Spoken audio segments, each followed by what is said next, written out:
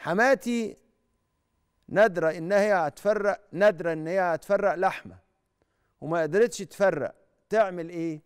بدل خلاص هي لن تستطيع إن أنت إن هي في أي وقت من الأوقات إن هي حصل أه تحصل مال يمكن أن تشتري به اللحمة وتوزعه على ما قالت. يعني لو قالت خمسة كيلو قالت عشر كيلو قالت هوزع عشرين كيلو لأنه قال لي لحم ما قالش إن هي ندرت إن هي تذبح قالت إن هي توزع لحم لو هي مش هتقدر تعمل الكلام ده خلاص إمكانياتها مش باين في الأفق ولا في المستقبل إنها تعمل كده تعمل إيه؟